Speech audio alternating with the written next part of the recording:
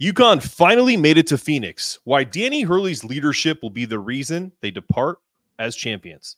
You're locked on UConn.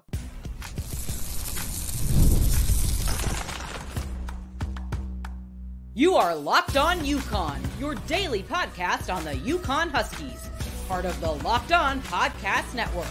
Your team every day. Thanks for making Locked On UConn your first listen every day. We are free and available wherever you get your podcasts and on YouTube, part of the Locked On Podcast Network, your team every day. Today's episode is brought to you by FanDuel. Make every moment more. New customers join today and you'll get $200 in bonus bets if your first bet of $5 or more wins. Visit fanduel.com slash locked on to get started like we talked about this morning, uh, like of a scene out of Major League or planes, trains, and automobiles, UConn men's basketball team was the last to arrive at the Final Four. Uh, it feels like a small propeller plane arriving around 6:34 Eastern Time. Looked like the NCAA thought it was the Final Three, not the Final Four. We welcome in our guest David Shepard of CBS Radio. David, I don't know if you saw Dan Hurley's press media availability today. It was late, but he made a comment that struck me. This is the quote. You think to yourself, once we got through the the ordeal, you don't really deserve to show entitlement. Does that c- comment surprise you from from Dan Hurley? No, not at all, Mark. And thank you for having me. The, the truth of the matter is, when it comes to Dan Hurley, he is old school personified. You know, he obviously is the brother of an absolute legend, um, you know, Bobby Hurley Jr. And then Bobby Hurley Sr.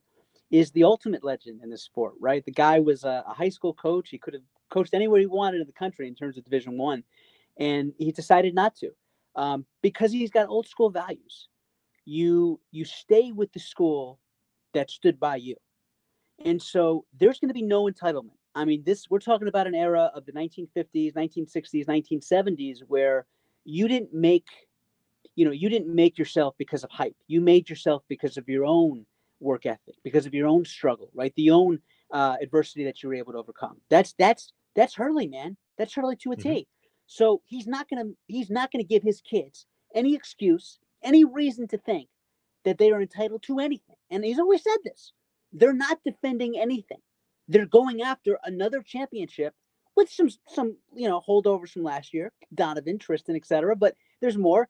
But he understands that once you get complacent, once you feel entitled, that's where the motivation dwindles to some extent. So I'm not surprised at all he wasn't playing victim. And that's why, quite frankly, he didn't ask me this, but I'll tell you anyway, Mark. That's why he's the best coach in America. And it's not even close. Don't steal all my don't steal all my questions for later in this segment here, David. No, you're you're I think you're spot on. Some of the other quotes he had, and this this goes right into it. He's he talked about this on the Pat McAfee show earlier in the week. Who they call he's uh the Pat McAfee show. He said he said you never heard of Pat McAfee? Who's that? Um, no, mo- modern efficiency basketball with old school values. He's even said in the past, we have old souls. Um, so everything you're saying is it checks out. He right now, would you, he's saying he's the best coach in college basketball, and it's not close. Is he the face of college of men's college basketball right now? Because typically in college basketball, you go with the coaches versus the players. Is that the, is that the case here? So uh, because of you know how easy it is to transfer, and because of NIL, um, there is not the same level of motivation I'm seeing from the star players.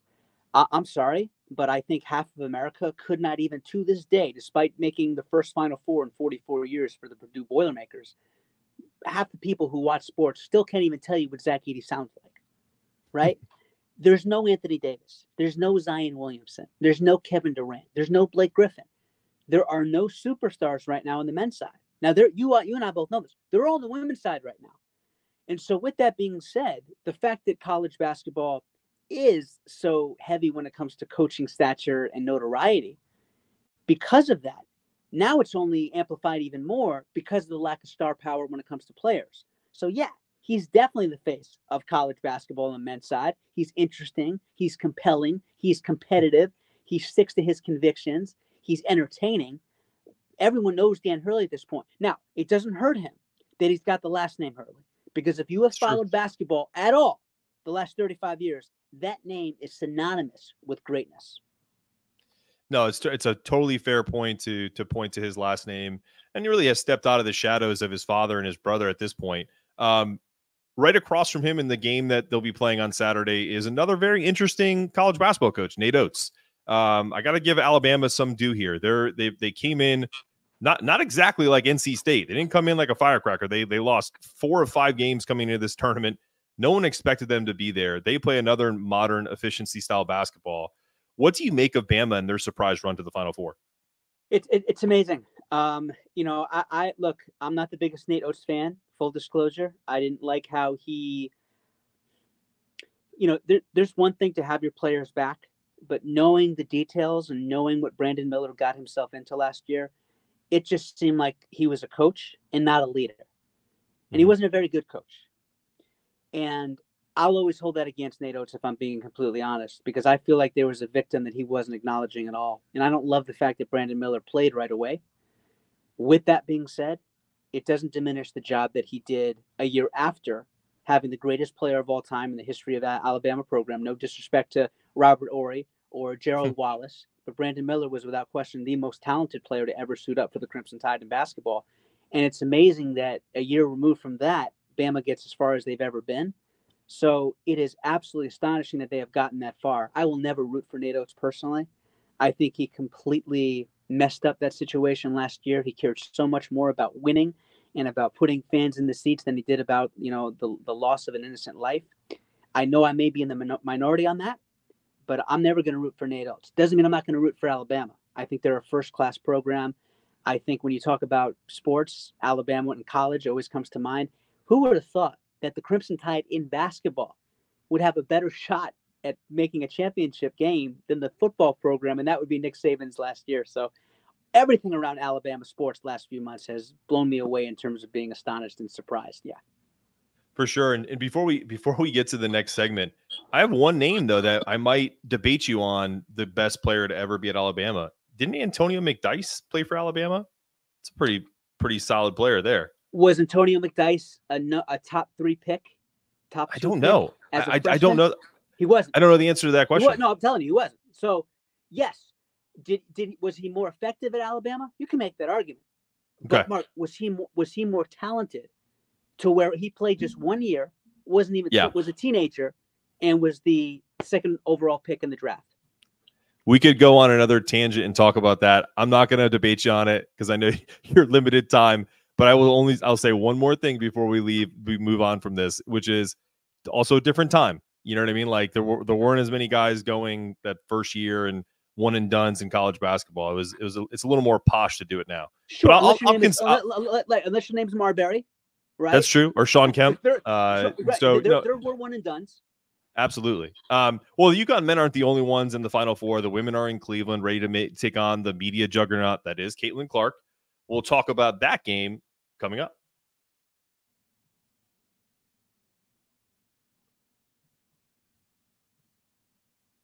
The sports calendar is loaded, and FanDuel is making it even more exciting to get in the action because right now, new customers get $200 in bonus bets with any winning $5 bet. That's 200 bucks. You can use that to bet in the tourney, MLB, NBA, NHL, and so much more. Visit fanduel.com slash locked on and make your first bet a big win. FanDuel, America's number one sportsbook. All right, David. So the UConn women are going for their unprecedented 12th national title to continue their record. They have 11 all time. I've been calling that the the dynasty dozen since the men have the hashtag the in the in the mix for six that the women don't have a hashtag. So I, I, I created dynasty dozen. So we'll see if that catches on. But we're sitting here on Thursday. I'm doing a crossover show with Iowa uh, tomorrow on the Locked On Podcast Network. What do you see as the storyline outside of the obviously the Paige and Paige and Caitlin Clark is the main storyline that goes into this Final Four, in my opinion. What do you see? Yeah. What do you see Geno Auriemma doing to try to slow this Caitlin Clark train? Well, without question, they are absolutely the faces of this Final Four game. Uh, I, I, hope he does the opposite of Kim Mulkey, which is you know you pick her up at half court and you double and you make somebody else beat you. You know you you can live with one of the others, and I don't mean to say that disrespectfully, but but they're not sure. Clark, right? They're not CC where they're putting up a ho hum 35 points and 13 assists, you know, midway through the fourth quarter. You cannot let Caitlin Clark beat you. Let it be the others. And there's no other All American on Iowa. It ain't like it's a great one two combination. You cannot allow CC to beat you. Now, she's obviously a great passer. So what you have to do is you have to blitz her every time with a double. You can't make it obvious because she's going to find the open person. But you have to, you almost have to do a box in one, if you will. Um, but you have to have surprise coverages. You know, this is going to be fascinating because Geno Auriemma, as great as he is, he hasn't won in almost a decade now, which is sacrilegious when you are Geno Auriemma and you coach the UConn Women's Huskies. So sure. there's a lot on the line, a lot more than just Caitlin Clark getting that uh, elusive national championship she hasn't been able to attain yet. This is this is the game. This is the game to watch. I think in on either side in any of the Final Four contests, this is the one that I think people are going to be most glued to. Yeah, I couldn't I couldn't agree more. I will also be doing a live. Uh, if anyone's listening to this, I will be doing a live show after the game, a reaction whether they win or lose hopefully I'm where I'm have my UConn pom poms on and I'm not dissecting a loss. So we will we'll talk about that. But listen, David, you're you're in you're in national media. You're you're you're on CBS radio. What do you think took so long? That's what people in Connecticut are asking. Like, what took so long for for for ESPN for Fox? Uh, I, I don't know how much CBS is covering them on, on a day to day basis, but when you turn on the the you know the big shows, right, the first takes, the you know the undisputed, they have full on segments the way they would when you know men's college basketball was dominating the the landscape.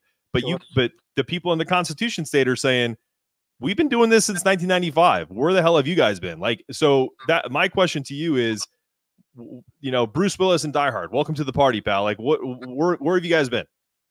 Not you specifically, but the national sure. media. It's it's a, it's a it's a very good question because when you look at even the days of USC, back when Cheryl Miller was playing before 1995. Obviously, we're talking 1980s. They were garnering audiences of 11 million people. So sure. oh, it the popularity of the women's game has always been there. Now, look, I'm not an executive producer of Undisputed or, or First Take, so I, I, I, my answer is not going to be satisfactory. What I will tell you, what you know, is that you play the hits.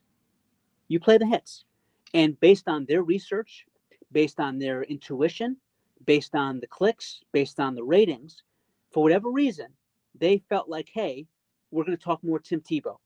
We're going to talk more Tom Brady. We're going to talk Jeremy Lin. We're going to talk A Rod. We're going to discuss LeBron. There are certain topics, buzzwords, names that are going to get more reaction. For whatever reason, they didn't feel like women's basketball at the time. It was in the same discussion as the other names I just mentioned. Now, I happen to disagree with that because I saw what happened in the 1990s with Rebecca Lobo in that 95 first title run of UConn, right? I saw the popularity. You saw Lisa Leslie at USC, Sheryl Swoopes. There have been incredible players before Caitlin Clark. Obviously, she's getting more notoriety, more attention than any of them. I don't know if it's a, a simple matter of, you know, a perfect storm. Mm-hmm. I'm glad to see it. Yeah, we're late. People are late to the party on this. Networks are late to the party on this. Radio stations are late to the party on this. Better late than never. So they're getting it right. But the reality is, in their minds, it doesn't sell. Just like Mark, just like if you want to talk hockey, great sport. Unbelievable how deep the West is right now, right? Unbelievable. Great run that the Rangers are on. Sidney Crosby, a name that anyone knows who follows sports. He's having a hell of a season. In year in year 19, by the way, but you can't talk about that nationally because it's not going to be able to sustain itself the way that you would about the NFL, the way that you would about college football. Now, I'm giving you a very detailed, nuanced answer of why they haven't talked about it enough. They felt like, for whatever reason, women's basketball was not going to give them the same amount of clicks, the same amount of listens, the same amount of likes, subscriptions that the other topics that I mentioned. I'm glad they're finally showing up because they're getting it right finally. No, it's totally. It, it's a great answer. You know, I, I don't think you, you know, you know, got to any any less of a conclusion than anyone I've asked that to. So I appreciate that, and I, I think you're right. Play the hits is is something I've heard before, and it's true. You can talk about it at concerts. You can talk about it at, uh, you know, for for for you know, people people want comfort too. You know what I mean? Like there's a reason why nostalgia is a is a is a big thing, myself included. You know, if there's nothing on TV, you know, my we'll put it on Friends or we'll put it on uh, Suits or something that we've watched wait, a million wait. times. Friends over Seinfeld? No, I've I've watched Seinfeld Seinfeld probably twelve times all the way through. Um, okay. so Oh yeah, don't. Wait, wait, yeah, wait, wait, don't- Twelve times you've watched the entire series all the way through, or twelve episodes? Twelve times all the way through. I am okay, a creature yeah. of You don't, habit. you don't strike me. You strike me as a Seinfeld guy a lot more than you do Friends. I'm not taking anything away from Friends. R.I.P. Matthew Perry, man. Yeah, Going no, I-. But I know. I, I no. It's a, it's a it, it's it's worth it. Like I don't even pit them. They're, it's it's like it's like steak in in uh, McDonald's. You know what I mean? Like Seinfeld is like a filet mignon, and Friends is like you know you're going to Wendy's to get a junior bacon cheeseburger. It's just quick little comfort food. Not not paying attention to it that much. It's in the background. You know what I You mean? what's- you know what's So- amazing about Seinfeld, Mark, is that it's the one show I can think of where the the stars, I mean, the real fascination with those shows was the supporting cast For sure. because it was never about Jerry. It was always about Elaine, Kramer, and George. And then I, I would even venture to say I think Newman was funnier than Jerry. I think, without question, Frank Costanza was funnier than Jerry too. That's true. Totally that- fair. That's the amazing thing about it. Uh, that's the amazing thing about a UConn podcast. As great as UConn is, and they are all time great, you can't help but bring up Seinfeld whenever you get a chance. No, I, I I don't disagree. And anytime we veer off into a, a fun topic, we have to flesh it out. I, I I have no problem with that whatsoever. By but the I way, will you- say, Seinfeld would have been Seinfeld should have included UConn. They should have included UConn in one of those four seasons where UConn was dominant. Just saying. And Friends had even more time. So, you know, listen, man, I, I I don't have a beef with Jerry. I love his comedians and cars. I'm looking forward to his new movie coming out uh, about Pop Tarts. I think that that's going to be cool. I don't know if you've seen that. Check out the Netflix uh, Hey, trailer what- on that if you haven't. what, what what do you call um what do you call Jerry Seinfeld and uh, uh, feature film? Himself, Jerry Box Seinfeld. off- box office poison. Do you think so? Well, this is Netflix, so it really it's just about streaming. it's yeah, not being know. It's released. an old it's an old expression. I was channeling my inner Norm Macdonald there. Um, uh, but dude, like stick to stick to stick to the fact that you got really lucky in the '90s. I'm not a I'm not a Jerry Seinfeld fan. You're gonna think I'm crazy. I got you. I, I'm on an island here. I get that. I think he was carried by the greatest cast ever assembled. Now, I'm not knocking the guy. I understand he's funny. He's got great Yeah. observational skills. I'll give you that. But he was very, very lucky that his co-creator was Larry David and he had the cast that he did. Because I'm sorry, what has he really done since except for be, you know, egotistical and a snob? Well, we're gonna leave it at that because I don't want to get mad at you, David. You know what I mean? I want to I want to keep this I want to keep this Fair. civil and and also I have Mark, to I'm tell not, you. Mark, I'm not I'm not opinionated at all about anything. I I agree. I wouldn't have you on the show if I if I if I didn't want this. Um, well, listen. Are you watching? Not you specifically, David, but are you watching Fox Sports or ESPN on your TV all day? Have to turn down the volume with all that shouting. Make the switch to Locked On Sports today, a free 24 7 sports streaming channel, program for you every day to bring you the biggest stories without all the screaming. Locked On Sports today brings you the can't miss analysis, opinions, and news, streaming 24 7 on YouTube and the free Amazon Fire TV channels app, part of the Locked On Podcast Network, your team every day. Well, I'll get David's take on UConn versus Bama, and we'll dive back into UConn versus Iowa, maybe get a little into the weeds there for that double feature after this.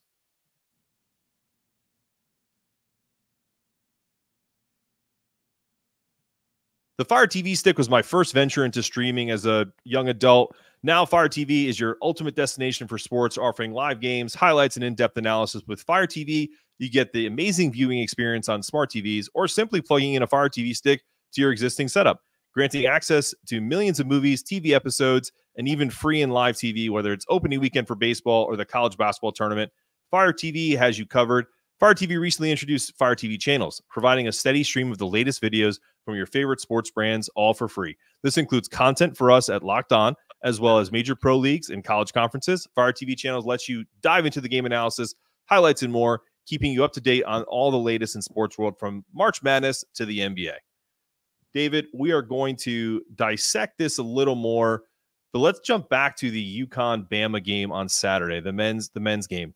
And even before we jump into that, this is such a I, I've been waiting for a national radio host to be on a show with me to ask this question. As soon as Purdue made the final four, and as soon as NC State beat Duke, the very first thought that popped into my head.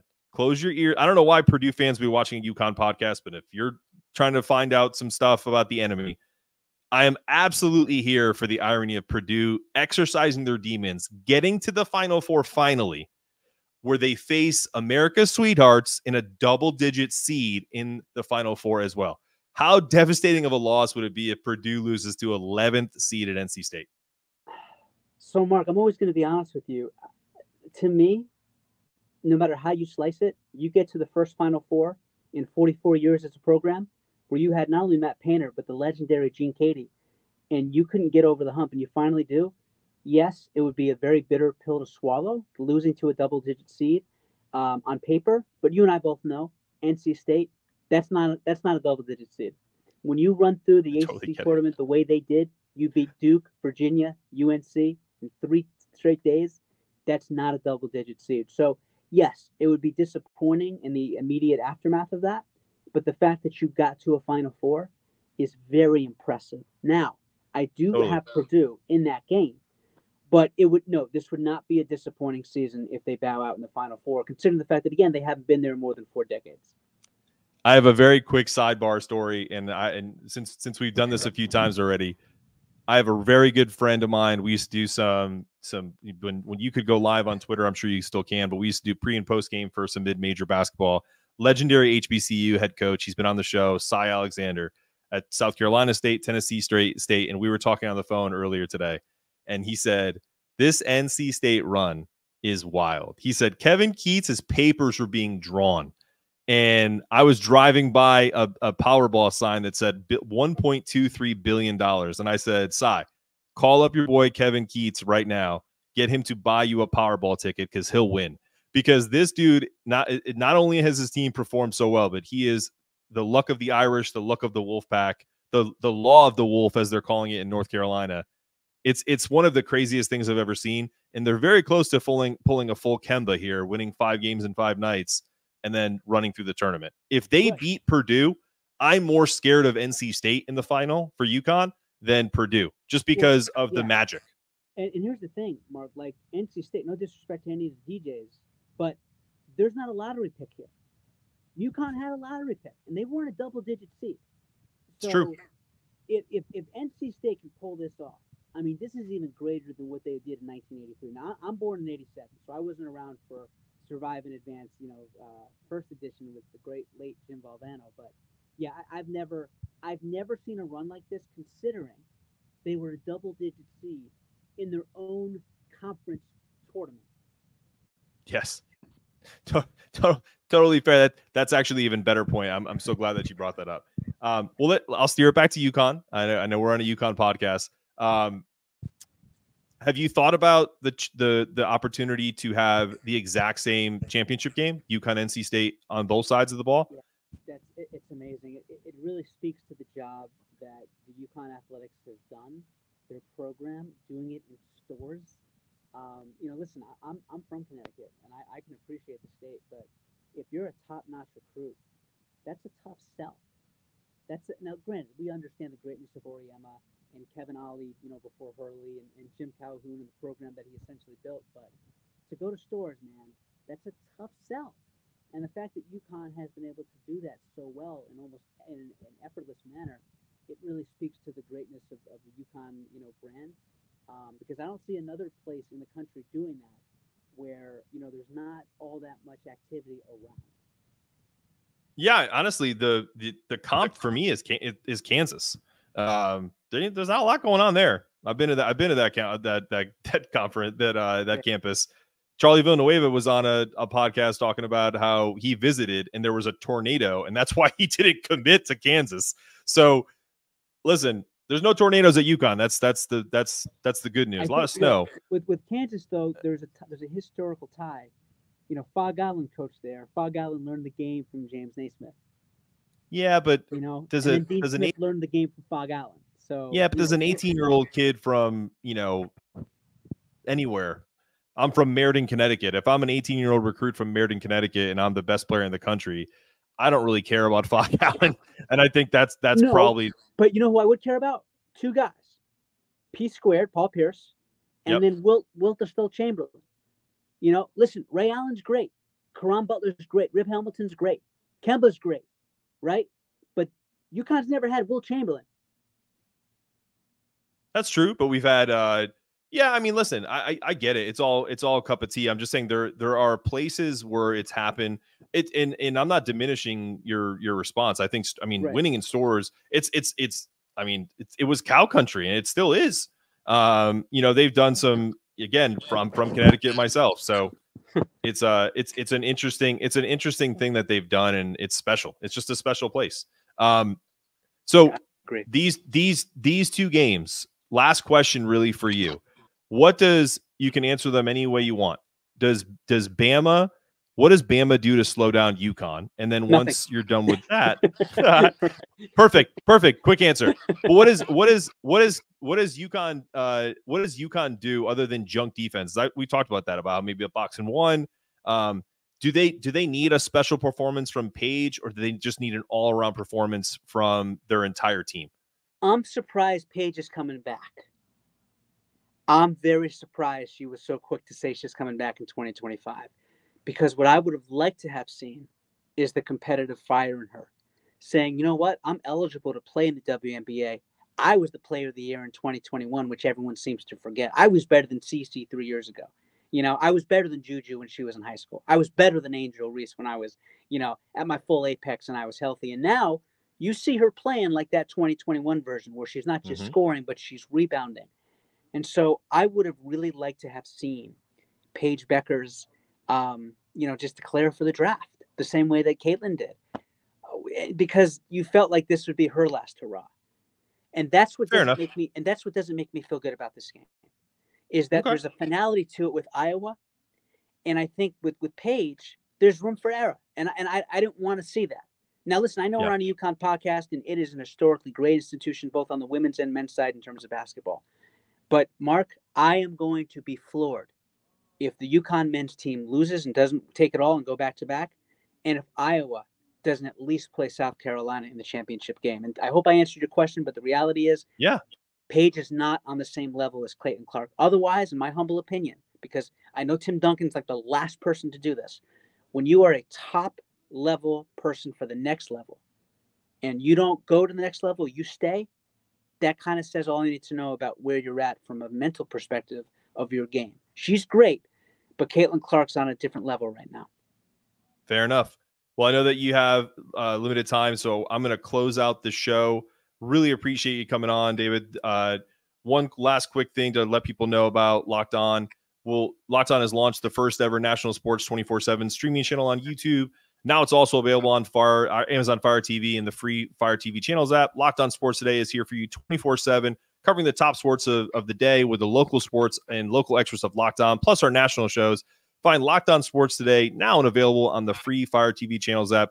This has been another episode of Locked On UConn. For David Shepard, I'm Mark Zanetto. Stay stay locked in, stay connected. Make sure your toughness meter is always rising.